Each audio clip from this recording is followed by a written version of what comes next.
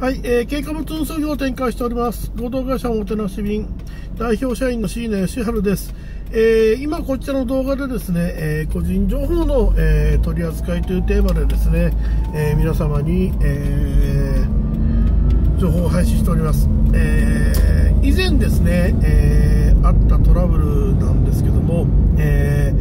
大型マンションにですね、えーと納品に行った際にですね、お客様が不在でした。で、不在ということで、えー、宅配ボックスの中にですね、えー、まあ、配達物を、えー、収納するという段階になってですね、で、はい、えー、宅配ボックスに収納いたしました。で、その収納する際に、えー、宅配ボックスがですね、えー、たまたま、あの目線よりちょっと上のとこの宅配ボックスしか空いてなくて、でそちらに収納したんですね。で、そうしましたら、えー、宅配ボックスから、えーと、リストを、えー、宅配ボックスの中にリストを一緒にしまってしまったと。えー、というのは、えー、納品物の上にリストを置いて、まあ、そのまま納品して、で、えーと、リストを、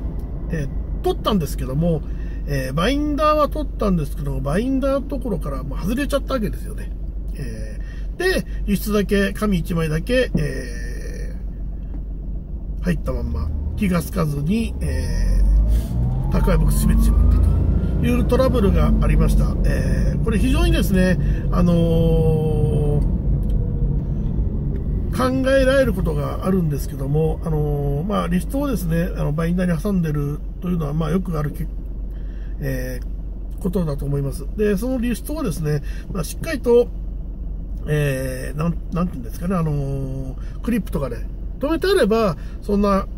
落ちるようなことなかったんですけども、結局バインダーの、えー、まあ、クリップが、えー、まあ、たまたまそんなに強くなかったということで、で、えー、それで、まあ、リストをそのまま収納してしまったというトラブルがありました。え、まあ、これは結局はお客様から何なきを得ましてですね、まあ、あの、大きなトラブルになることなく、え、解決しましたが、こういったミスもあります。なので、え、非常に気をつけていただきたいと思います。特に、あの、まあ、なんていうんですかね、あの、バインダーに挟んだときは、えー、バインダーのクリップだけではなく、別に、えー、クリップを、えー、何箇所か止めて、えー、まあ、絶対飛ばないように、風でも飛ばないように、えー、まあ、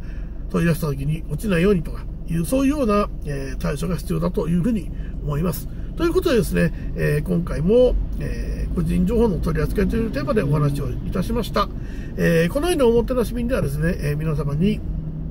いろいろな情報を配信しながら応援を作っていきたいというふうに考えております。またですね、ドライバーを大募集しております。ぜひですね、えー、皆様、えー、お力添えいただければと思います。ご連絡先申し上げます。090-1996-4638、090-1996-4638、おもてなし BC なの携帯まで、えー、お気軽にご連絡いただけたらと思います。え、どうぞよろしくお願いいたします。どうもありがとうございました。